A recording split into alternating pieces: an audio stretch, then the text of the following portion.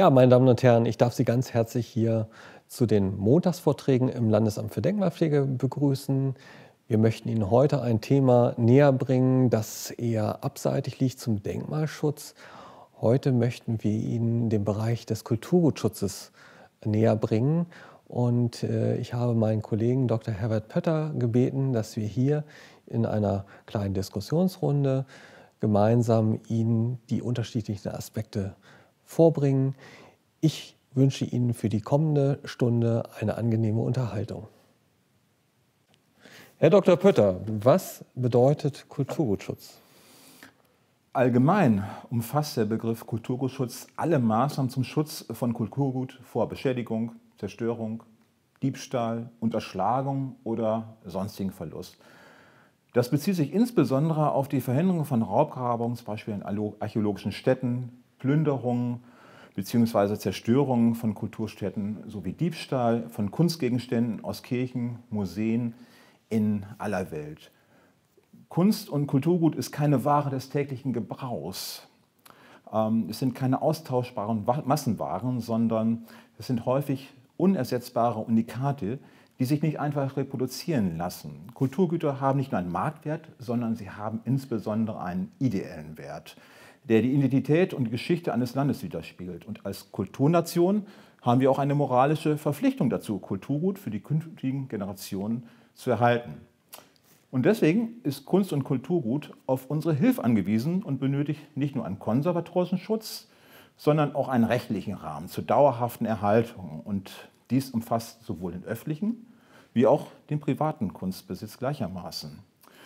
Der Schutz deutschen Kulturguts gegen Abwanderung ins Ausland wurde aus diesem Grund sogar ausdrücklich im Grundgesetz verankert. Unter Artikel 73 findet sich das wieder. Also ist es damit auch sogar Verfassungsauftrag.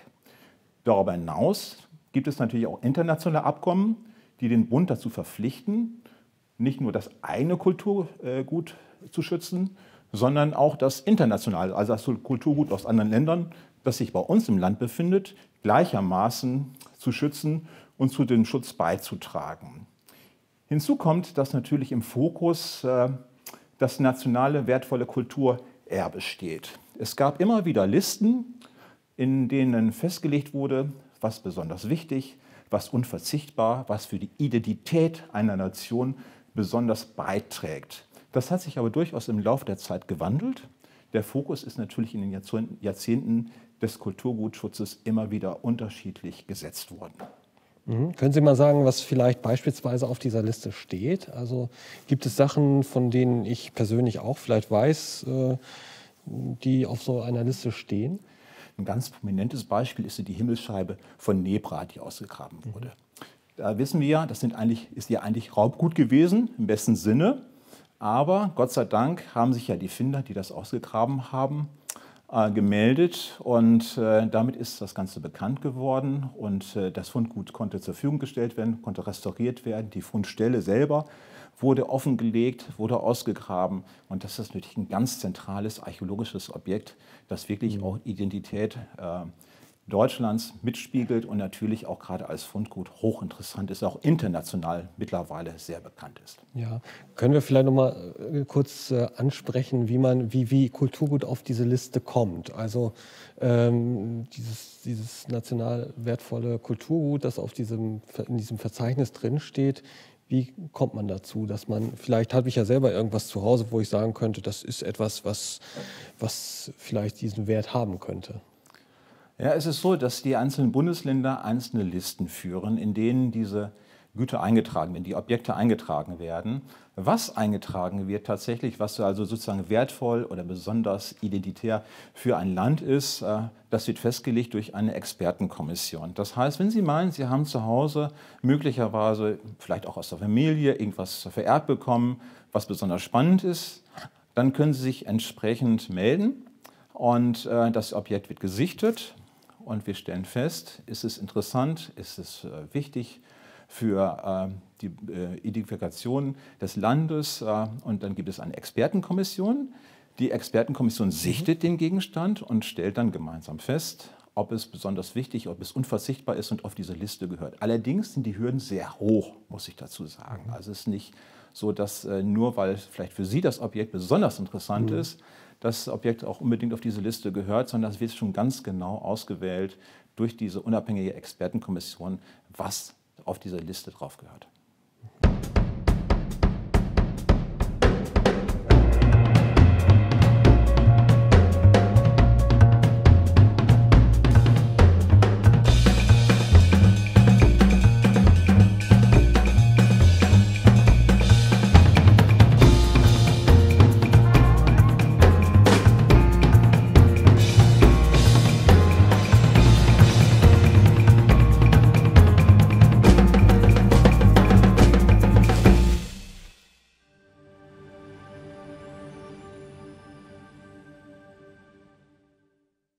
Herr Pötter, wir haben jetzt über das Kulturschutzgesetz erstmal geredet. Ähm, wie war das denn bislang? Ist das eine ganz neue Regelung oder hat man da schon Vorläufer gehabt?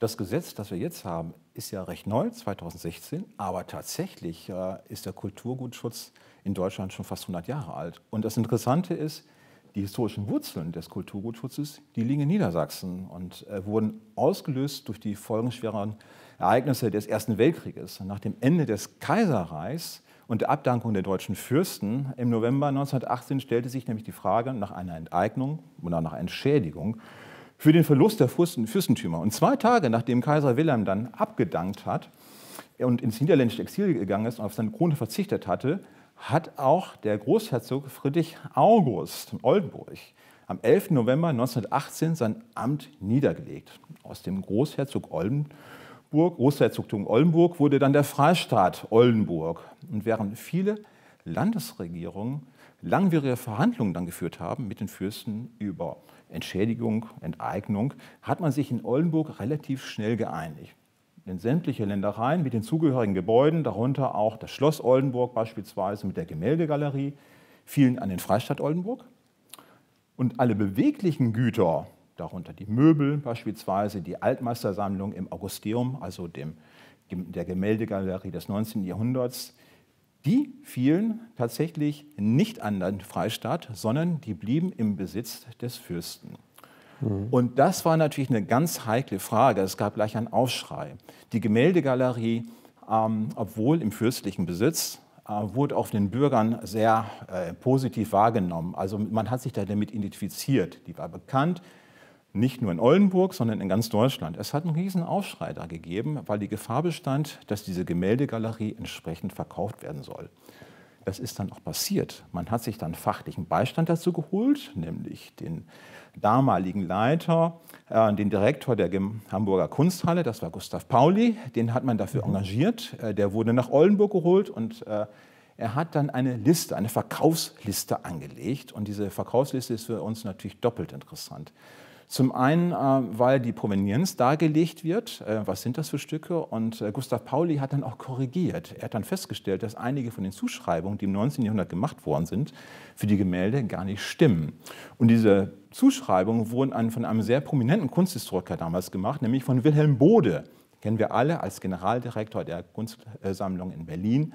Ähm, der hat 1888 eine Buch veröffentlicht, einen Katalog, in dem er die Zuschreibung gemacht hat und in dem er die Gemäldegalerie beschrieben hat. Dadurch hat es nochmal zusätzlich an mhm. Prominenz gewonnen, ist nochmal bekannter geworden.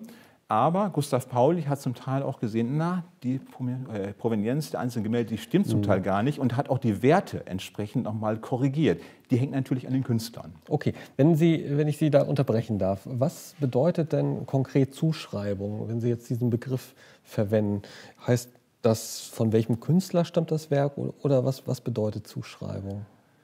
Es bedeutet zwei Dinge. Zum einen bedeutet das die Zuschreibung an einen Künstler, aber es ist auch die Erwerbsgeschichte eines Objektes, mhm. eines Kunstwerkes. Also, wer hat es zuerst besessen, in welcher Galerie oder Privatbesitz hat es sich befunden und welchen Weg ist es im Laufe der Zeit gegangen. Und die Provenienz ist immer sehr, sehr wichtig und hat auch in den letzten Jahren oder Jahrzehnten sehr an ähm, Bedeutung gewonnen, mhm. äh, weil es natürlich nicht etwas über den Wert eines Künstlers aussagt, sondern auch über die Sammlungsgeschichte eines Kunstwerkes. Mhm. Ja, die Sammlungsgeschichte ist natürlich auch ein Punkt, äh, der, der ja wahrscheinlich jedem irgendwie, zumindest wenn er dann so ein bisschen die Presse verfolgt, immer so ein bisschen äh, anfixt, weil ähm, wir wissen, dass äh, in der Zeit nach der Weimarer Republik, also im Dritten Reich, ja äh, viele Juden enteignet wurden. Es gab hier die Vermögensverwertungsstelle in Hannover, die äh, auch Kunstwerke verwertet hatte von, von, von jüdischen Mitbürgern.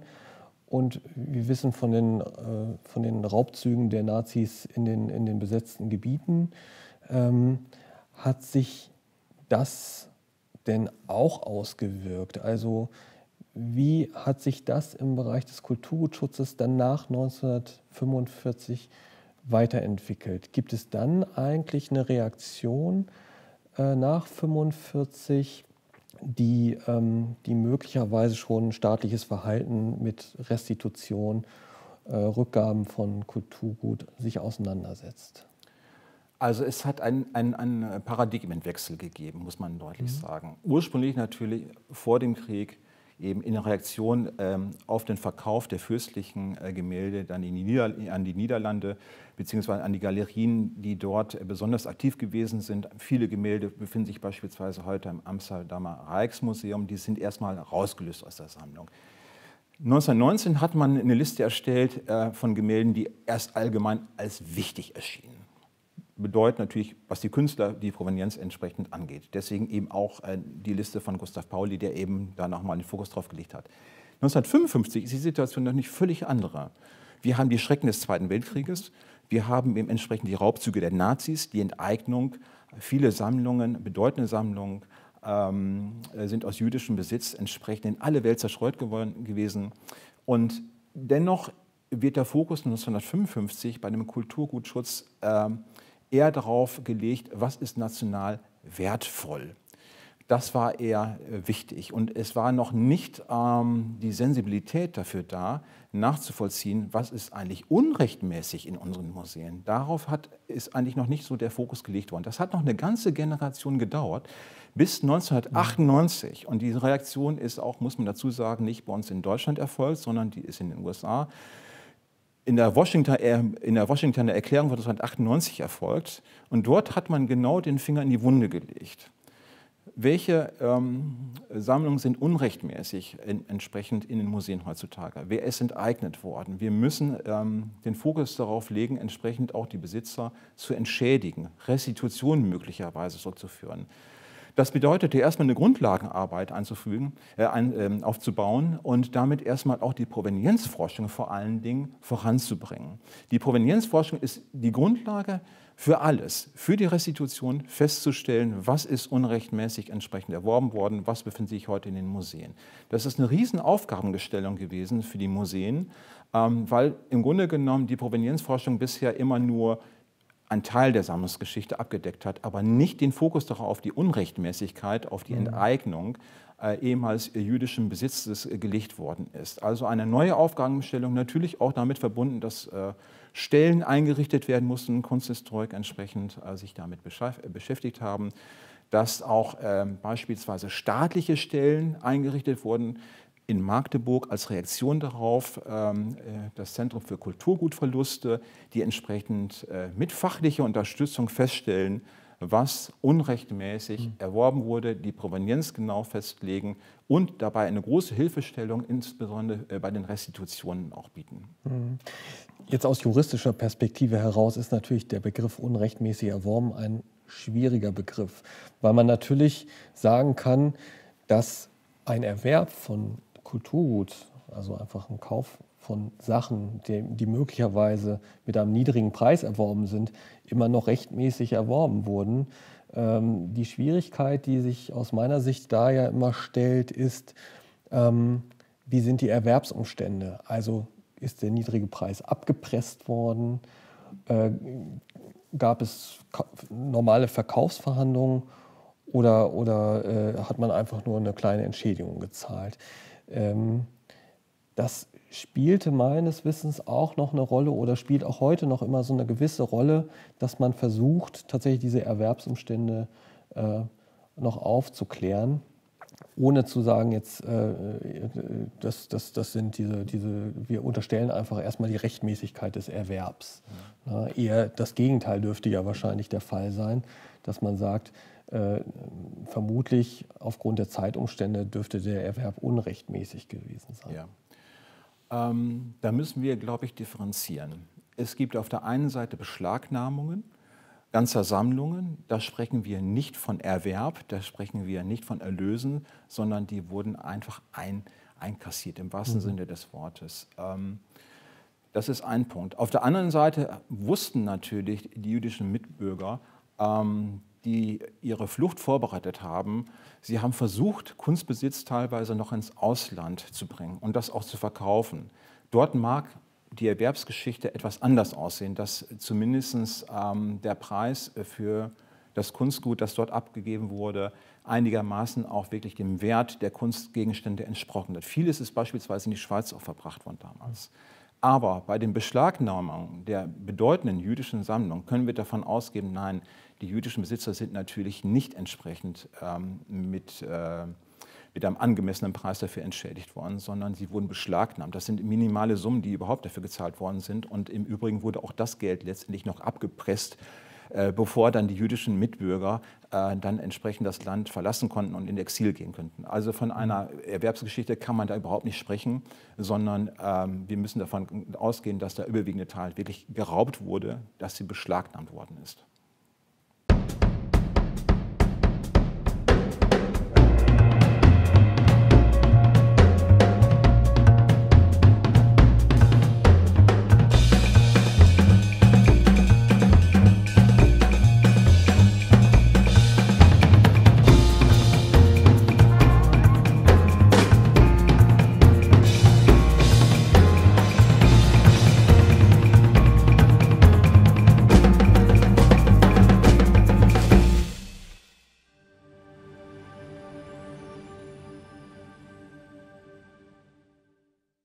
Warum gibt es ein neues Kulturgutschutzgesetz?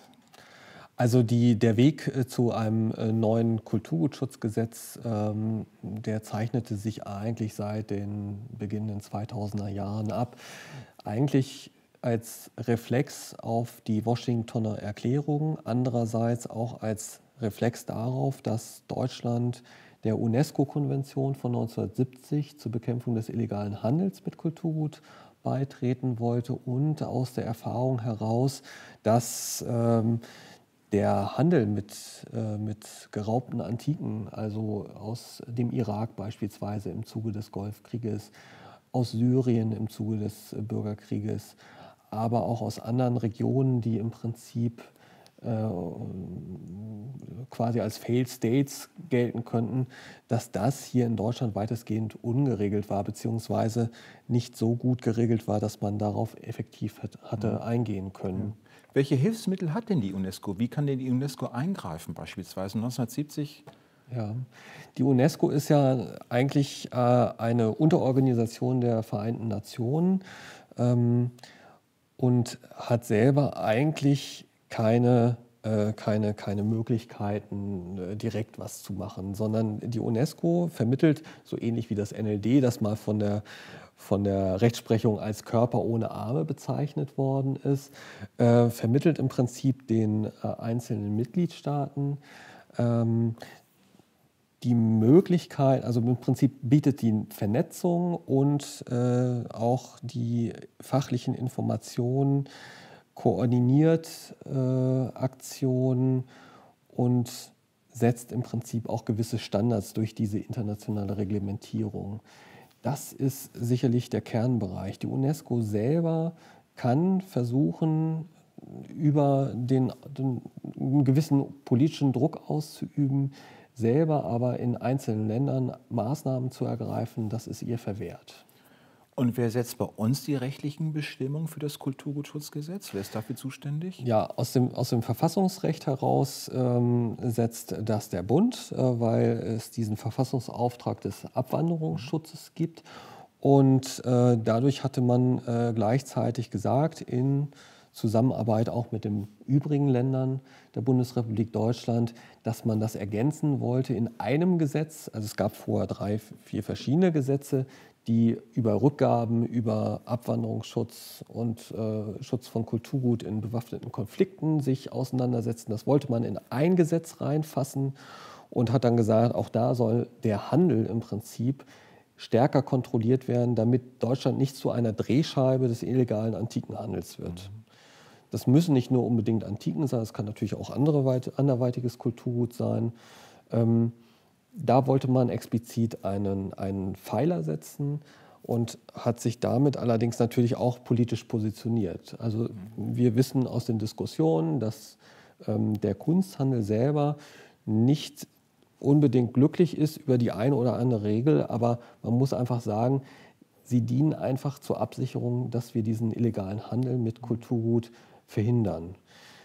Häufig wird auch ins Felde geführt und ähm, das lässt sich so explizit vielleicht gar nicht unbedingt nachweisen, aber dass die Finanzierung des internationalen Terrorismus teilweise auch durch Raubgrabungen und den Verkauf von, von archäologischem Kulturgut in diesen Krisenländern äh, dient. Das heißt also, dass möglicherweise äh, wir nicht nur mit Blutdiamanten zu tun haben, sondern vielleicht auch mit Kulturgut, das halt eben tatsächlich äh, in der Finanzierung her dazu diente, im Prinzip Personen mit Waffen auszustatten. Im Prinzip von Geldwäsche letztendlich. Auch. Geldwäsche ist sicherlich auch noch ein ganz großes, großer Punkt, der aus meiner Sicht allerdings auch noch gar nicht ausreichend geregelt ist. Ähm, Kunst und Kulturgut haben, hat, hat wirklich ein großes Geldwäschepotenzial. Denn äh, man muss einfach mal in der Presse verfolgen, wie, die, wie sich die Preisentwicklungen darstellen. Und wenn ich höre, dass äh, in Paris oder in London oder in New York bei Auktionen ähm, Millionen für einzelne Kunstwerke bezahlt werden, dann kann ich mir ausrechnen, dass die Investition von schmutzigem Geld in Kulturgut und der Weiterverkauf äh, zu, mit sauberem Geld dann äh, gelingen kann und vielleicht sogar noch mit einer hohen Rendite, dann ist, äh, ist auch klar, dass das ein hohes Geldwäschepotenzial hat. Mhm. Normalerweise sagt man immer, bei klassischen Geldwäschedelikten ist es so, dass man äh, bei zehn unreinen, gewaschenen, äh, unreinen Euros quasi dann einen gewaschenen Euro rausbekommt. Das ist bei Kulturgut nicht zwingend der Fall. Das, das heißt, ich kann mit einer günstigen Rendite es genau andersrum machen. Ich habe einen ungewaschenen Euro, der möglicherweise nachher zehn gewaschene Euros äh, hervorbringt. Wie kann man denn wirklich direkt zugreifen? Wir haben über Krisengebiete gesprochen, Syrien, Irak beispielsweise. Mhm. Dort werden illegale Ausgrabungen gemacht, dort werden auch Zerstörungen gemacht, leider. Ähm, und zum Teil gelangt das Kulturgut, gerade Antiken, ja Richtung Europa, Richtung Deutschland. Wo haben wir denn den Zugriff? Wo können wir denn direkt verhindern, dass illegale Kulturgüter, Antiken hier in Deutschland entsprechend in den Kunsthandel gelangen? Das ist sicherlich äh, die, die schwierigste Angelegenheit äh, überhaupt, weil wir ja auf den internationalen Handel angewiesen sind. Wir haben, was bestimmte Krisengebiete angeht, Embargo-Verordnungen. Das heißt also, für Syrien und für den Irak gibt es Embargo-Verordnungen. Die können auch für neue Krisengebiete äh, entstehen. Diese Embargo-Verordnungen kommen aus Brüssel von der Europäischen Union. Ähm, das heißt also, der Zoll an den Grenzen ist aufgefordert, tatsächlich Waren, die aus diesen Regionen möglicherweise stammen, zu kontrollieren und Verdachtsfälle zu melden. Und zwar werden die an die nationalen Sicherheitsbehörden gemeldet. Das heißt also, äh, an den Grenzen. Und in Deutschland gibt es eigentlich tatsächlich nur ganz wenige Außengrenzen noch. Der Rest ist ja aufgrund des Binnenmarktes ja. und des Schengener Raumes im Prinzip dem freien Warenverkehr unterworfen. Das heißt eigentlich an den Seehäfen, an den Flughäfen, vielleicht noch zur Schweiz. Ja, äh, dort finden dann eigentlich die Zollkontrollen statt. Das ist jetzt etwas verkürzt dargestellt, weil es auch so ist, dass auch im Inland noch Zollkontrollen stattfinden. Das heißt also, wenn möglicherweise mir ein Paket geschickt wird aus Norwegen, aus den USA, dann wird das vor Ort in den einzelnen Zollämtern kontrolliert, möglicherweise. Stichprobenartig natürlich mhm. nur, weil das einfach von der Menge her viel zu viel ist. Wenn da auffällt, dass es tatsächlich sich um Kulturgut handeln könnte, das aus einem solchen Embargo-Staat stammt, dann wird das sicherlich vom Zoll aufgehalten werden und wir erhalten hier eine Meldung und dürfen dann einschreiten. Kommen wir vielleicht einmal zum Kulturgut, das legal verhandelt wird. Ja. Ähm, 1955 haben wir ein Kulturgutschutzgesetz, aber das hat einen großen Schwachpunkt gehabt. Wir haben gerade über Schengen-Abkommen, mhm. EU-Wirtschaftsraum gesprochen, über Zollformalitäten gesprochen. Wo lag das Problem von 1955? Wo war die Lücke? Naja, 1955 äh, als äh, Zeitpunkt, das Kulturgutschutzgesetz bezog sich vor allen Dingen auf den Abwanderungsschutz. Und aufgrund des Abwanderungsschutzes äh, ging es eigentlich nur darum, festzustellen, ist das Kulturgut, um das es sich jetzt dreht, äh, etwas, was eigentlich im Land bleiben sollte. Ob das jetzt möglicherweise von einem, äh, von einem äh, eher niedrigeren Interesse war, ob es möglicherweise ähm, vielleicht äh, aus, aus einer etwas zwielichtigen Quelle stammen würde, spielte nicht unbedingt die Rolle. Wichtig war im Prinzip erstmal das Kulturgut, das aus damaliger Sicht wertvoll war, im Land zu halten. Und damit war dieses Gesetz damals natürlich nur auf diesen Bereich beschränkt. Aber der Kunsthandel hat ja, glaube ich, war ganz raffiniert und hat erkannt, aha, wir haben da doch eine Lücke im Gesetz, wenn beispielsweise Kunst äh, und Kultur äh, exportiert werden sollte, ausgeführt werden sollte äh, in die USA. Und wir haben national wertvolles Kulturgut, das ja eigentlich nicht ausgeführt werden darf. Ähm, da ist doch eine Lücke gewesen, indem man beispielsweise gesagt hat, naja, gut, wir dürfen es zwar nicht direkt ausführen, aber wenn wir den Umweg gehen, entsprechend über ein EU-Nachbarland, dann können wir es doch machen. Und als Reaktion darauf hat es ja im Kulturgutschutzgesetz entsprechend auch eine Regelung gegeben, eben entsprechend für den EU-Raum. Das heißt, genau. Wir brauchen auch Ausfuhrgenehmigungen entsprechend äh, für Kulturgut innerhalb des EU-Raums, ähm, um eben sicherzustellen, dass eben genau beispielsweise über eine Station im einen Zwischenhändler sozusagen mhm. im europäischen Nachbarland nationales Kultur, wertvolles Kulturgut entsprechend hier auch verbleibt und nicht über illegale Wege dann doch noch auf dem Kunstmarkt handelt. Genau. Das ist in der Tat äh, auch ein rechtlich interessantes Problem, weil eigentlich die Mitgliedstaaten der Europäischen Union verpflichtet sind, den freien Warenhandel in der Europäischen Union nicht zu behindern. Ähm, da gibt es nur ganz, ganz wenige Ausnahmen und äh, in Frankreich nennt man das die Exception äh, culturelle. Äh, äh, grundsätzlich kann man bei gewichtigen Rechtsgütern, wo es um Gesundheit geht beispielsweise, auch Hürden einbauen für den Handel zwischen den Mitgliedstaaten. Aber sonst ist eigentlich tatsächlich der, der Handel zwischen den Mitgliedstaaten verboten, äh, Entschuldigung, äh, frei. Mhm. Ähm, man hat natürlich jetzt hier beim Kulturguthandel tatsächlich gesagt, wir dürfen keine Schlupflöcher schaffen. Ne? Ansonsten hebelt man das gesamte Gesetz aus.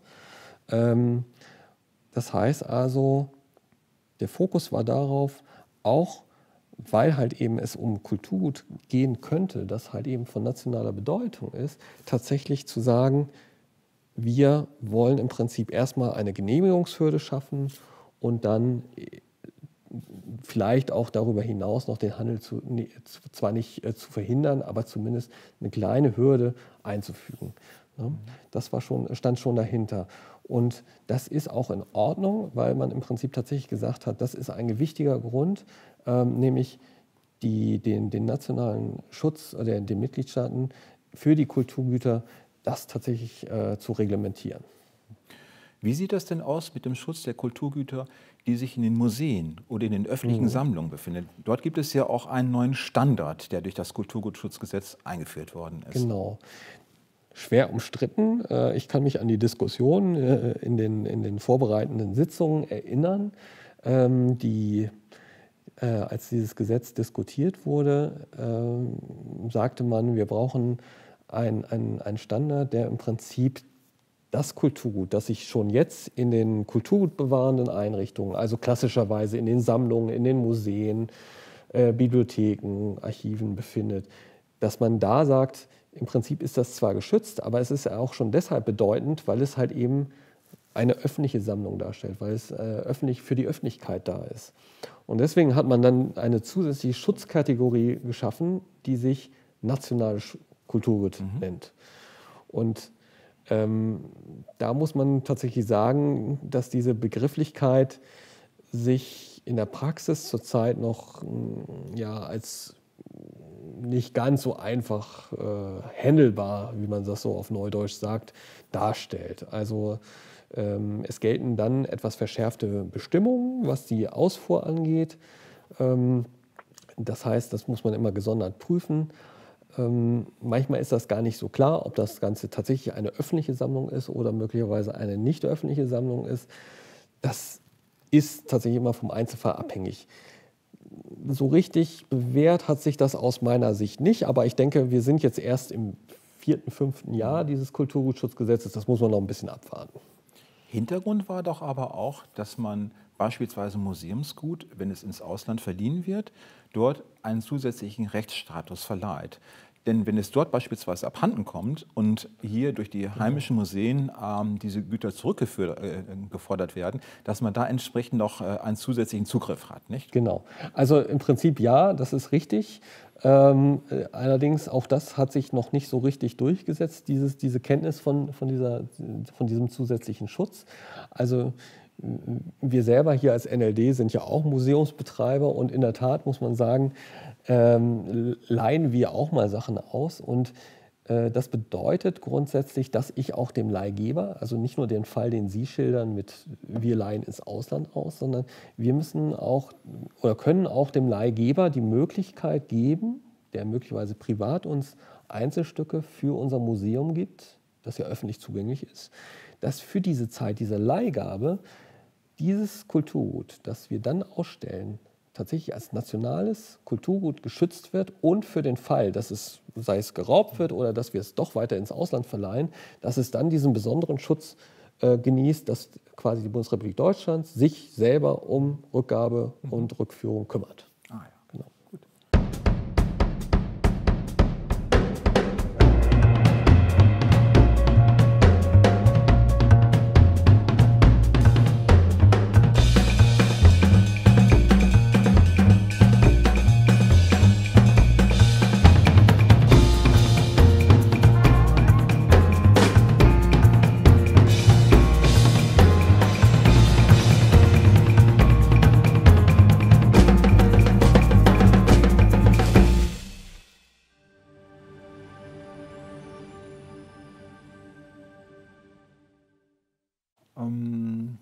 Ist äh, für den Kulturgutschutz in Niedersachsen zuständig? Ja, äh, Niedersachsen verfolgt im Vergleich zu anderen Bundesländern einen gewissen Sonderweg. Also äh, normalerweise ist es immer so, dass die oberste Landesbehörde für den Kulturgutschutz äh, zuständig ist. In Niedersachsen hat man das aber aufgeteilt. Und das ist auch aus meiner Sicht ganz gut gewesen, weil man dadurch ähm, im Prinzip gewisse ähm, eine gewisse Flexibilität erzeugt hat. Man hat dadurch, dass man ähm, das etwas durchdifferenziert hat, hat man sachnäher äh, Lösungen geschaffen, als wenn das Ganze konzentriert in einem Bereich gelagert wurde. Und das stellt sich wie folgt dar. Ähm, oberste Landesbehörde für den Bereich des Kulturgutschutzes ist das Ministerium für Wissenschaft und Kultur. Und zwar äh, dort das Referat 35. Das heißt also, dort ist man dafür zuständig, dass im Prinzip Rückgabeverfahren beispielsweise durchgeführt werden, dass im Prinzip diese Liste, diese Länder, es ist ja eigentlich eine koordinierte Länderliste, dieses Verzeichnis des national wertvollen ja. Kulturgutes, dafür zeichnet das Ministerium verantwortlich und zwar vor allen Dingen für das Kulturgut. Und es gibt auch noch etwas anderes. Neben dem sogenannten sonstigen Kulturgut gibt es noch das Archivgut. Mhm. Das Archivgut, das heißt alles, was in Archiven sich befindet, das wird von der Staatskanzlei betreut. Mhm. Also das ist im Prinzip nochmal ein Sonderpart, weil nämlich in Niedersachsen das Landesarchiv ist im Zuständigkeitsbereich der Staatskanzlei. Da gibt es ab und zu mal Anknüpfungspunkte. Also wenn es um Bücher oder sowas geht, wo vielleicht auch mal fraglich ist, ob das Ganze eher Archivgut ist oder Kulturgut ist, dann muss man sich ein bisschen abstimmen. Ähm, wir hatten auch äh, zwischenzeitlich mal uns ein bisschen gegenseitig konsultiert, als es um den äh, Bestand von Briefen einer, mhm. einer, einer Künstlerin des 19. Jahrhunderts ging. Da muss man sich vielleicht auch ab und zu mal gegenseitig unterstützen. Aber im Kernbereich, das, was eigentlich den Kulturschutz in seiner Praxis eigentlich ausmacht, das macht eigentlich das Landesamt für Denkmalpflege mhm. seit 2017. Ja. No? Ne? Und äh, äh, Sie sind jetzt nicht mehr ganz so frisch, aber vielleicht können Sie mal einfach selber sagen, äh, ja. was, was Sie so typischerweise eigentlich am Tag da fabrizieren, ja. in Anführungszeichen. Also das Kerngeschäft eigentlich äh, meines Aufgabenbereichs ähm, ist ähm, die Genehmigung von Ausfuhren. Das heißt, ähm, dass entsprechende Kunsthändler ähm, bei uns anfragen äh, und äh, entsprechend Kunst und Kultur ausführen möchten. Dafür bedarf es entsprechend äh, Ausfuhrgenehmigungen nach äh, Paragraph 24. Ähm, das ist aufgeteilt einmal für den EU-Binnenmarkt und es ist einmal aufgeteilt äh, entsprechend für die Drittländer. Meine Aufgabe, meine Hauptaufgabe besteht dann darin, diese ähm, Ausfuhranträge zu prüfen und vor allen Dingen auch beispielsweise sozusagen das Beiblatt zu prüfen. Das heißt, mhm. Provenienz, Kaufverträge, wie ist das äh, Kultur beispielsweise erworben worden? Das ist für mich ganz wichtig festzustellen, ähm, dass es sich hierbei hoffentlich dann auch nicht um illegal erworbenes Kulturgut handelt, denn das sollte nach Möglichkeit natürlich nicht weiter veräußert und ausgeführt werden. Das heißt, ich überprüfe das. Im Zweifelsfall hake ich auch nach bei den Kunsthändlern oder auch bei den Privatleuten, aber es sind überwiegend Kunsthändler, ähm, die das Kulturgut ausführen möchten, äh, um entsprechend Rechnungen, Provenienzen beizufügen. Und wenn die Papiere vollständig sind, äh, genehmige ich das Ganze. Und äh, es sieht so aus, dass dann entsprechend mit dem Ausfuhrantrag dann entsprechend das Kulturgut ausgeführt werden darf. Mhm. Das läuft dann auch, wenn es ins Ausland geht, auch über die Zollbehörden. Im Zweifelsfall bekomme ich dann entsprechend auch einige ein Beiblatt sozusagen der Genehmigung wieder zurück nach einiger Zeit. Wenn es beispielsweise in den USA oder so ausgeführt wird in ein Drittland, dann weiß ich, aha, es ist also vollzogen worden, das Kulturgut ist äh, rechtmäßig entsprechend ausgeführt worden. Wie das, ist das, äh, wenn ich da mal einhaken darf, wie ist das, wenn ich jetzt eine Stradivari habe und ähm, sage mal, ich, ich äh, bin in einem mhm. Orchester und ja. ähm, ich weiß, äh, mein Orchester ist ein gutes Orchester und ich werde morgen in New York spielen, dann vielleicht ja. äh, weiterfliegen nach, äh, nach Japan mhm. und irgendwann komme ich vielleicht wieder nach Deutschland, um dann kurze Zeit später wieder aufzubrechen ins Ausland. Also für äh, solche Fälle, also für wertvolle Instrumente beispielsweise, gibt es spezielle Genehmigungen, Ausfuhrgenehmigungen nach 22 dass entsprechend äh, Musikinstrumente beispielsweise auch für längere Zeit ausgeführt werden dürfen. Das heißt, ich muss nicht für jedes einzelne Land das nachweisen, sondern das gilt dann entsprechend für die Zeit, für die ganze mhm. Zeit der Ausfuhr sodass der Musiker entsprechend äh, dann seine Stradivari mit ausführen darf. Das betrifft sowohl die EU, das betrifft aber auch die Drittländer entsprechend, dass es gesichert ist, dass er damit einreisen mhm. und auch wieder ausreisen darf, dass also mhm. sozusagen das Kultur die, äh, die äh, wertvolle Stradivari dort nicht erworben hat oder illegal ein- oder mhm. ausführt, sondern dass er dort en entsprechend äh, zusammen mit dieser Ausfuhrgenehmigung sicher ein- und ausreisen kann. Wenn Sie mir eine Ausfuhrgenehmigung erteilen, darf ich dann im Prinzip, das, äh, reicht das dann aus? Also ähm, nehmen wir mal an, ich habe vielleicht auch noch so äh, Probleme mit, was weiß ich, ich habe einen Gegenstand, der noch Elfenbein enthält oder, oder Schildpatt von der, von der Schildkröte oder Krokodilleder oder sowas. Reicht das aus, wenn Sie mir die Ausfuhrgenehmigung erteilen oder brauche ähm, brauch ich dann noch mehr? Also grundsätzlich gilt, ähm, bei den Ausfuhrgenehmigungen haben wir gewisse Kriterien. Es gibt Kategorien, nach denen wir unterscheiden, und es gibt entsprechend Wert- und Altersgrenzen. Das heißt, dass man sich genau anschaut, was sind das für Objekte entsprechend? Gibt es beispielsweise ähm, Kriterien, die ausschließen, wenn es sich beispielsweise auch um ähm, Reptilien, beispielsweise Reste handeln? Dass man dort nochmal nachschauen muss, gibt es Artenschutz? Äh, ist dort irgendetwas illegal verarbeitet ja. worden äh, innerhalb dieses Kunstwerkes? Darf ich das überhaupt weiter ausführen? Aber grundsätzlich gelten eben diese Bestimmungen der Kategorien und eben der Alters- und Wertgrenzen. Und danach richtet sich, ob ich überhaupt eine Ausfuhrgenehmigung bekomme. Mhm. Denn bekommen, ich bekomme auch häufig Anfragen von Privatleuten. Ich habe ein Objekt, ähm, das ich ausführen möchte.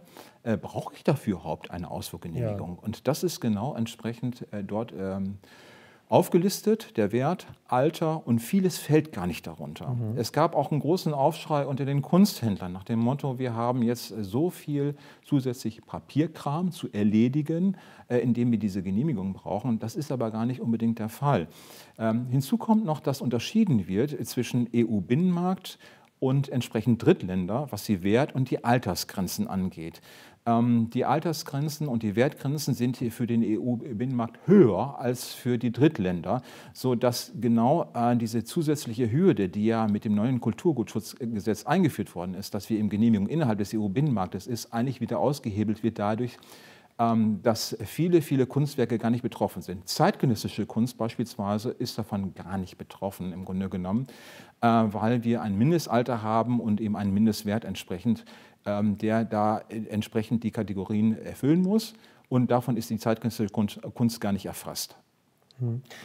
Jetzt sind die Ausfuhranträge ist ein Part. Ähm, jetzt kann es ja auch mal sein, äh, dass im Prinzip tatsächlich dieser Fall, den wir vorhin schon mal äh, geschildert haben, dass tatsächlich der Zoll anruft und sagt, wir haben hier was festgestellt und können Sie jetzt mal gucken, äh, ist das Kulturgut? Kann das, äh, haben wir das unrechtmäßig angehalten oder kann das oder, oder was tun wir jetzt am besten?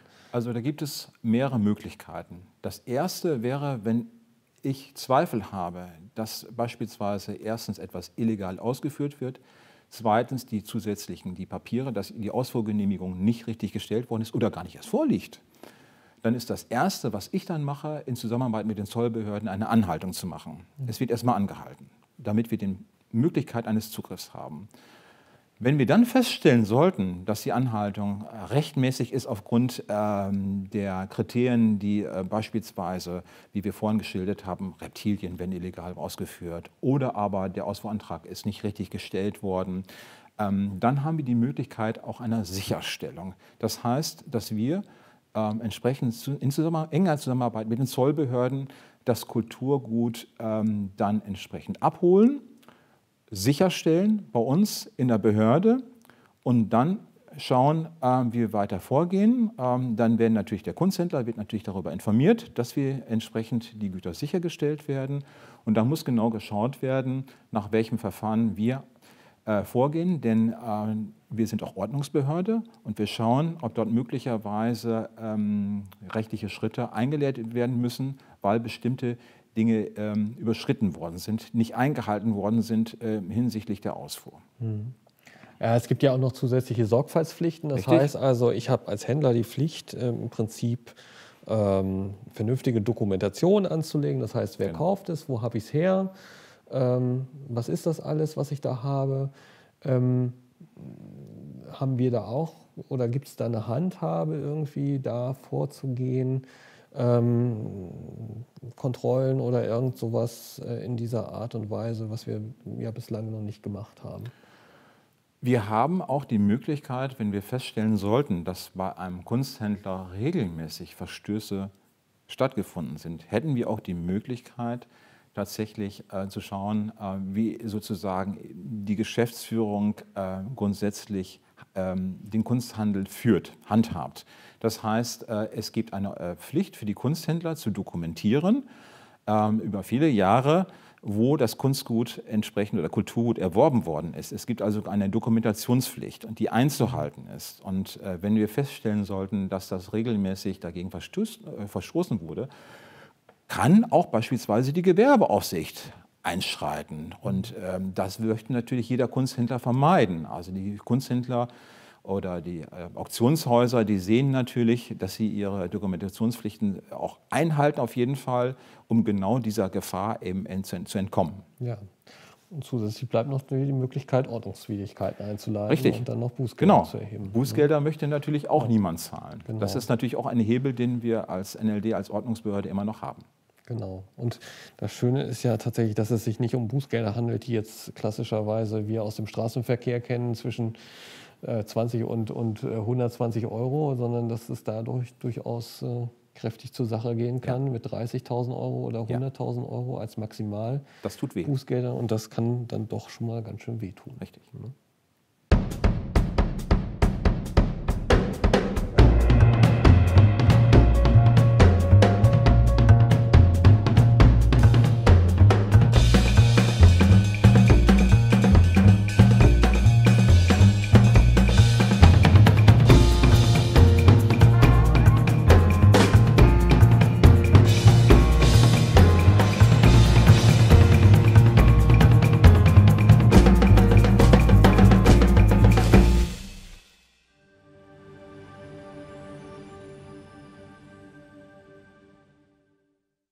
Welche besonderen Fälle sind im abgelaufenen Jahr eingetreten? Ja, also da lässt sich sicherlich jetzt eine Menge aufzählen. Vielleicht greifen wir nur mal ein paar raus und äh, ich kann vielleicht noch mal äh, aufgreifen, was wir im Frühjahr letzten Jahres äh, hier äh, der Öffentlichkeit mitgeteilt haben. Wir haben einen Fall, äh, wo wir eine Goldmünze quasi äh, hier in Verwahrung genommen haben Ursprung dieses Verfahrens ist ein internationales Ermittlungsverfahren, das tatsächlich äh, über mehrere Länder ging. Ausgangspunkt war ein Diebstahl im Archäologischen Museum in Parma. Dort sind zahlreiche Goldmünzen abhandengekommen und ähm, man konnte eine dieser Goldmünzen ausfindig machen, und zwar hier in Niedersachsen. Der Weg tatsächlich war nicht ganz klar. Man hat das versucht nachzuermitteln. Es ist wohl so, dass diese Münze über Malta, über London irgendwie nach Niedersachsen geraten war und man hat dann dort tatsächlich diese Goldmünze, ein Aureus aus äh, dem, ich meine, 4. Jahrhundert nach Christus, ähm, sicherstellen können, beziehungsweise ähm, aufgrund der guten Zusammenarbeit mit dem damals äh, mit, dem, mit dem Besitzer konnten wir im Prinzip diese Münze quasi in Verwahrung nehmen, haben daraufhin auch mit der Republik Italien Kontakt aufgenommen und äh, versuchen jetzt eigentlich diese Goldmünze endlich wieder an ihren rechtmäßigen Platz, nämlich nach Italien, nach Parma zu bekommen. Das stellt sich derzeit aufgrund dieser Corona-Situation mhm. als doch relativ schwierig heraus.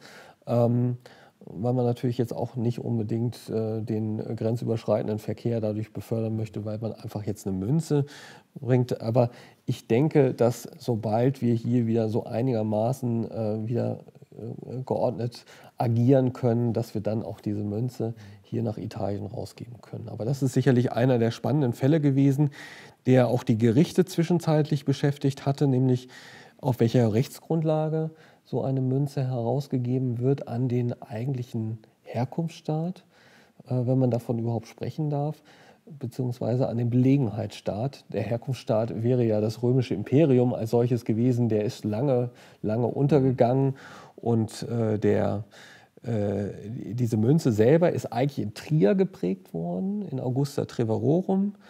Ähm, das heißt also, theoretisch könnte man auch von Deutschland als Herkunftsstaat ausgehen, aber es ist natürlich eine römische Münze gewesen. Sie war in Parma äh, im Museum und da gehört sie auch hin. Und deswegen wollen wir diese Rückgabe dann auch irgendwie bald Richtung Parma bewerkstelligen. Ja, es gab einen zweiten Fall, äh, der uns auch immer noch beschäftigt. Äh, grundsätzlich hochproblematisch ist ähm, die illegale Ausfuhr von Kulturgut aus Afrika. Wir haben eine Warnung bekommen zwischenzeitlich auch von Interpol eine, eine Purple Notice, so ja, genannt. Genau. Ähm, und dort wurde darauf hingewiesen, dass verstärkt mit illegalen, mit gefälschten Zertifikaten Kulturgut aus Afrika nach Westeuropa und auch in Drittländer ausgeführt werden. Und ähm, das hat uns natürlich schon im Vorfeld sensibel gemacht. Und tatsächlich haben wir den Fall gehabt, ähm, dass wir eine Anfrage hatten, die zunächst an das MBK gerichtet war. Das MBK hat uns dann äh, entsprechend darüber informiert, über diese Anfrage einer möglichen Ausfuhr von Kulturgut äh, aus Afrika, aus Westafrika in diesem Fall. Und ähm, dort haben wir dann Informationen bekommen, wie ist jetzt damit umzugehen. Ähm, die Anfrage sah so aus, äh, dass wir äh, Begleitzertifikate hatten, die haben mich stutzig gemacht. Gerade aufgrund dieser Warnung auch von Interpol, dass wir wussten, aha, die sind häufig gefälscht, die geben sich den Anschein, als wären sie offiziell, indem sie entsprechend äh, Signaturen, Stempel bekannter internationaler Organisationen benutzen. Der ICOM, der UNESCO und sogar von Interpol selbst. Also sie sollen irgendwie offiziell aussehen, sind sie aber nicht. Und äh, gerade aus Westafrika, das ist bekannt dafür, tauchen häufiger solche Zertifikate auf. Das hat mich natürlich besonders misstrauisch werden lassen, als ich diese ersten Zertifikate als Begleitdokumente bzw. als, als PDF-Dokumente sehen konnte. Ähm, ich wollte natürlich sicher gehen, äh, dass diese Zertifikate richtig, wirklich gefälscht sind. Sind sie gefälscht, sind sie nicht gefälscht? Und daraufhin habe ich mich ähm, mit einer Anfrage an die äh, ähm, äh, entsprechend an UNESCO Deutschland gewandt. UNESCO Deutschland äh, hat mich dann unterstützt dabei und hat auch bestätigt, indem sie das weitergeleitet haben an die UNESCO-Zentrale in Paris, dass es sich in der Tat um gefälschte Zertifikate handelt und äh, mhm. hat also unsere Einschätzung dann eindeutig auch bestätigt. Und wir haben dann weitere Schritte eingeleitet. Ähm, um dann sicherzustellen, ähm, dass äh, dieses ähm, illegal eingeführte Kulturgut entsprechend nicht weiter veräußert äh, wird entsprechend und äh, möglicherweise in Drittländer dann an Kunsthändler gelangt. Und das ist unsere Aufgabe gewesen, entsprechend als Behörde diese Kulturgüter sicherzustellen und natürlich entsprechende Rechtsschritte auch dabei einzuleiten. Ähm, verbunden damit ist, ähm, dass wir ohnehin in der, gerade in der letzten, Fra äh, letzten Zeit äh, die sich die Frage stellt, wie ist umzugehen mit kolonialem Kulturgut. Das mhm. betrifft nicht nur den aktuellen Handel, wo wir eben gerade natürlich auch gerade einen Fokus darauf legen, denn koloniales Kulturgut ähm, hat enorm an Wert gewonnen auf den internationalen äh, Kunst- äh, und Kulturmärkten. Bei den Auktionshäusern ist ein sehr begehrtes Sammlergut gewesen und äh, ist es auch heute noch, wird also wirklich hoch verhandelt. Aber gerade die Museen sind natürlich ja. auch betroffen, in mehrerlei Hinsicht. Zum einen ist natürlich ähm, koloniales Kulturgut, Sammlungsgut ähm, als Objekt gefragt bei Ausstellungen. Das heißt, wird natürlich Ausstellungen werden bestückt, äh, gehen auch ins Ausland entsprechend, müssen auch Begleitdokumente haben. Aber es stellt sich vor allem die Frage, wie sind entsprechend diese Stücke, die Objekte überhaupt in die Sammlung gelangt? Hm. Also es ist so ähnlich wie bei der Raubkunst im ja. Prinzip, dass man auch da fragt, wie ist die Provenienz des Objektes? Genau. Also äh, wo kommt es her? Wie ist es quasi aus dem Ursprungsland nach Deutschland gekommen? Ähm, ich kann mich an Diskussionen über das Humboldt-Forum in Berlin erinnern, wo, es, äh, wo diese äh, Ausstellungen und diese ethnologischen Sammlungen, die wir dort haben, tatsächlich sehr stark kritisiert worden sind dafür, dass möglicherweise hier Sachen gezeigt werden, die eigentlich unter ganz dubiosen Umständen eigentlich den damaligen Herkunftsvölkern entrissen wurden und dann nach Deutschland gekommen sind. Ja. In der Tat, das hat es mit ausgelöst. Ähm, es hat einen Paradigmenwechsel gegeben letztendlich. Früher war Provenienzforschung vor allen Dingen geknüpft mit NS-Forschung, das heißt also äh, illegale äh, Beschlagnahmung jüdischer Sammlungen. Das hat sich ein bisschen gewandelt, indem jetzt dieser Fokus verstärkt eben auf dem Bereich der kolonialen Kunst äh, letztendlich liegt und dort vor allen Dingen auch geprüft wird. Das betrifft beispielsweise auch die Zentralstelle in Magdeburg für Kulturverluste, die dort jetzt auch einen Forschungsbereich mit Fokus speziell auf koloniale Kunst entsprechend auch gelegt hat. Und ähm, gerade die Provenienz festzustellen, ist natürlich nicht ganz einfach. Äh, denn auf der einen Seite sind es Objekte, die im 19. Jahrhundert natürlich illegal abgepresst wurden, erworben wurden, geraubt wurden in Afrika und dann entsprechend ähm, in die Sammlung gelangt sind, in, durch die Familien beispielsweise, äh, durch, äh, durch Erbnachlass. Äh, ähm, dann in die Museen gelangt sind. Auf der anderen Seite wissen wir aber auch, dass manche Objekte speziell für den Kunstmarkt gefertigt worden sind mhm. und äh, dann in die Museen gelangt sind, weil die Museen natürlich einen Nachfragebedarf auch hatten. Und die sind also speziell dafür angefertigt worden. Also das ist sehr schwierig auseinanderzuhalten. Im Grunde genommen ist es ja eine relativ junge Kunst. Also es sind mhm. vor allen Dingen Objekte aus dem 19. und aus der ersten Hälfte des 20. Jahrhunderts. Und wir können das nur gemeinsam lösen, indem wir ein enges Netzwerk aufbauen indem wir also ähm, äh, Spezialisten fragen, mit den Museen äh, entsprechend uns zusammensetzen, die Kuratoren und Kuratorinnen entsprechend fragen, äh, wie verhält sich das, welche Erfahrungen gibt es hier, gibt es vergleichbare Objekte, wie sieht die Provenienzforschung in Ihrem Bereich aus? Gibt es Erfahrungswerte, ähm, dass Sie wissen, dass möglicherweise illegal Kulturgüter eben in die Museen gelangt sind? Also das ist ein Bereich, der gerade in jüngster Zeit beackert wird mhm. und sehr aktuell ist. Naja, und wir sind hier als NLD ja auch Mitglied oder beziehungsweise Kooperationspartner im Netzwerk Provenienzforschung hier in Niedersachsen und unterstützen natürlich auch die Kolleginnen und Kollegen im Museumsbereich dann, falls es tatsächlich mal zu Restitutionen, zu Rückgaben kommt ja. von Kulturgut bzw. Sammlungsgut.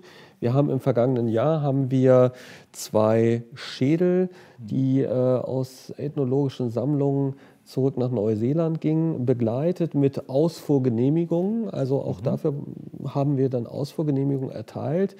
Wobei man hier natürlich auch nochmal eine Spezifikation hat, quasi im Hinblick auf Gebräuche, Werte dieser Herkunftsgemeinschaften. Also äh, die Schwierigkeit war da, dass, dass, äh, dass die beiden Objekte, ähm, dass, dass, dass im Prinzip die, die Herkunftsgemeinschaft das Ansehen, also das Erblicken dieser Objekte, das Wahrnehmen dieser mhm. äh, Objekte als Tabu ansahen. Und wir haben daraufhin, weil die Ausfuhrgenehmigungen immer ein Foto enthalten müssen, die Unterlagen mit einem Deckblatt versehen, sodass im Prinzip die, die Ausfuhr für denjenigen, der möglicherweise aus dieser Herkunftsgemeinschaft kommt und als Zollbeamter vielleicht in Neuseeland das abfertigen hätte müssen, dass der wusste, hier ist möglicherweise ein Abbild eines Objektes drauf, dessen das für dich vielleicht mhm. äh, einen Tabubruch darstellen könnte. So. Ja. Das ist in der Tat schwierig, auch für uns natürlich das im Vorfeld zu wissen. Und da sind wir dann auch im Prinzip auf den regen Austausch, auf die Hinweise von den Kollegen angewiesen. Mhm. Aber das gelingt immer mehr und immer besser. Ja. Und ähm, das, äh, freu, da freue ich mich eigentlich auch schon auf die Zukunft, dass wir das eigentlich äh, weiter so äh, äh, professionalisieren können. Ja. Ja, es gibt ein enges Netzwerk, muss man dazu sagen, äh, wirklich mit den, äh, mhm. mit den Museen, äh, mit den Kuratoren entsprechend, dass wir zusammenarbeiten. Gerade natürlich, gerade wenn es bei menschlichen Resten, da muss man besonders, mhm. da ist eben die Übergabe einfach ja. wichtig zu respektieren die besonderen Sitten, die besonderen Gebräuche und die Empfindlichkeiten natürlich auch, mhm. die mit der Übergabe solcher Objekte verbunden sind. Aber darüber hinaus gibt es natürlich auch Restitutionen, wo Kulturgüter beispielsweise, äh, das sind nicht nur Kunstgegenstände, das sind auch Alltagsgegenstände, hatten wir auch den Fall, die in die USA restitu äh, restituiert worden sind, äh, die wir dann begleiten, wo natürlich nachgefragt sind, es wird eine Ausfuhrgenehmigung benötigt. Wir mhm. begleiten da diesen Prozess entsprechend und arbeiten sehr eng mit mhm. den befreundeten Museen zusammen. Mhm. Wir hatten noch einen Sicherstellungsfall, ähm, der sich ähm, ähm, ja, im vorletzten, letzten Jahr noch äh, hinzog. Da ging es um eine Anfrage der Türkei, die ähm, der Auffassung war, dass sich hier ein äh, archäologisches Objekt in Niedersachsen befindet gefunden haben soll oder befindet, das äh, aus einer Raubgrabung stammte. Ja. Und äh, äh, das ist, äh, also für mich als, als Nicht-Kunsthistoriker ist für mich, das ist, muss ich einfach sagen, äh, äh, ist dieser Bereich des Kulturgutschutzes eigentlich immer eine, eine, eine tolle Informationsquelle, weil man so viel Neues erfährt. Also diese, diese Bandbreite an unterschiedlichen Kulturen, was die hervorgebracht haben und so weiter, das äh, regt ja auch an, sich damit näher auseinanderzusetzen. Mhm. Und als ich zum ersten Mal von, äh, von äh, diesem Objekt hörte, da sollte es sich um einen, ein, ein Kleidungsgegenstand aus Bronze handeln, war ich etwas irritiert, dass man sowas tragen konnte. Aber wie gesagt, äh, unsere Aufgabe war es dann ja bei diesem Handel, der ja über eine Internetplattform stattfand, dagegen, da im Prinzip tatsächlich zu durchsuchen. Wir haben tatsächlich zusammen mit dem Zoll eine Durchsuchung durchgeführt in, äh, hier in Hannover, die allerdings letztlich ohne Erfolg blieb. Also hier war es wohl so, dass die Angaben zum Artikelstandort ungeklärt blieben. Also der, der wurde, blieben wir letztlich mit unseren Informationen, steckten wir halt eben fest. Mhm. Und man muss mal einfach sagen, das gehört vielleicht auch einfach zu, dazu, dass man möglicherweise irgendwann nicht mehr weiterkommt. Ja. Also gerade der Handel über eBay, also der große graue Markt, ist sehr, sehr schwierig äh, zu erfassen. Ähm, das bedeutet für meine alltägliche Arbeit auch durchaus mal Stichproben äh, zu, zu nehmen. Äh, was wird gerade verhandelt? Was ist auf dem Markt? Sind das möglicherweise mhm. Namen? Sind ja äh, letztendlich dann irgendwelche Scheinnamen von Händlern, die da auftauchen. Ähm, das sind keine, häufig keine seriösen Händler und dem nachzugehen, ähm, was angeboten wird, ähm, was sind das für Objekte, wo stammen die her, zu welchen Preisen werden sie verhandelt, ist in der Vergangenheit schon mal ein ähnliches Objekt beispielsweise dort mhm. angeboten worden. Aber das ist für uns schwierig, dem nachzugehen, weil häufig tatsächlich dann auch über Strohmänner im Ausland ähm, dann diese Objekte angeboten werden. Also wenn kritischer Zugriff hier erfolgt innerhalb von Deutschland oder innerhalb äh, möglicherweise Hannovers, dann gibt es immer noch möglicherweise für die äh, eBay-Händler die Möglichkeit, über das europäische Ausland äh, entsprechend über andere Zwischenhändler dort auch äh, Dinge zu veräußern. Also der Zugriff ist sehr schwierig. Ähm, für uns bedeutet das aber trotzdem, dass wir regelmäßig Stichproben nehmen müssen, um im Zweifelsfall dann auch einmal zuzugreifen oder eine Sicherstellung möglicherweise durchführen zu können. Herr Dr. Pütter, wenn ich jetzt als Laie sage, ich will mehr wissen, ich will mich informieren, wo kriege ich Formulare her und so weiter, wo kann ich am besten mich informieren? Was sind die Quellen? Ja, da empfehle ich äh, die Webseite kulturgutschutzdeutschland.de. Ähm, dort finden sich alle wichtigen Informationen dazu. Also, wenn Sie beispielsweise Fragen dazu haben, ähm, wie läuft das überhaupt mit Ausfuhrgenehmigung? Benötige ich eine Ausfuhrgenehmigung ähm, äh, für, für das Kulturgut, ähm, das ich möglicherweise ausführen möchte? Dort gibt es Informationen darüber, ähm, über die Wertgrenzen, über die Altersgrenzen beispielsweise. Aber darüber hinaus ähm, können Sie beispielsweise auch ähm, Ausfuhrgenehmigungen direkt herunterladen. Sie finden die Ansprechpartner entsprechend in den Behörden, natürlich nicht nur für Niedersachsen, sondern für ganz Deutschland, für die ganzen Bundesländer, wenn Sie in einem anderen Bundesland beispielsweise diese Genehmigung gebrauchen. Darüber hinaus haben wir auch dort eine Datenbank national wertvolles Kulturgutes. Dort kann man nachschauen, ähm, wenn Sie interessiert daran sind, äh, was sind das überhaupt für Objekte? Was, was sind das für Kulturgüter, die in den Datenbanken drinstehen? Das betrifft übrigens nicht nur Deutschland, sondern Sie können das für die ganzen Bundesländer, Sie können es aber auch international nachfassen. Ähm, wie sieht das im Ausland aus? Was sind das für Objekte, die möglicherweise interessant sind, die besonders wertvoll sind? Die können Sie dort entsprechend auch recherchieren.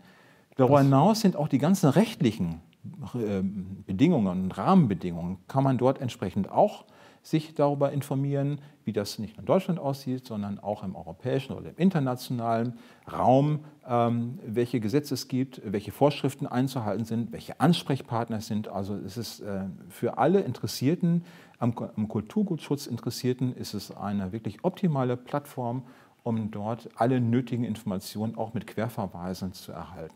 Was ja vielleicht auch deshalb nicht schlecht ist, wenn ich mal ins Ausland fahre und etwas mitnehmen möchte. Ja nochmal zu gucken, darf ich das überhaupt mitnehmen? Richtig, genau. Was sind das für Objekte? Ähm, welche äh, Kategorien fallen darunter? Was darf ich, was darf ich nicht entsprechend? Wie gesagt, welche Alterswertgrenzen gibt es da überhaupt? Äh, dort kann ich mich informieren mit verlässlichen Informationen.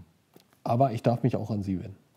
Wir stehen jederzeit als Ansprechpartner da. Das ist ganz wichtig, ähm, dass die Experten für den Kulturgutschutz in den Bundesländern dort vermerkt sind und zwar genau aufgeführt nach den jeweiligen Arbeitsbereichen, also sowohl im, beispielsweise für Archivgut, das hatten wir vorhin angesprochen, wer ist dafür zuständig, wer ist für die, für die übrigen Ausfuhrgenehmigungen zuständig, also hier im NLD, wir beispielsweise, da sind wir alle angegeben mit den Adressen, mit den Telefonnummern, dort sind wir jederzeit äh, zu erreichen und im Übrigen stehen wir jederzeit für Informationen im Bereich des Kulturgutschutzes zur Verfügung. Das ist unsere Aufgabe.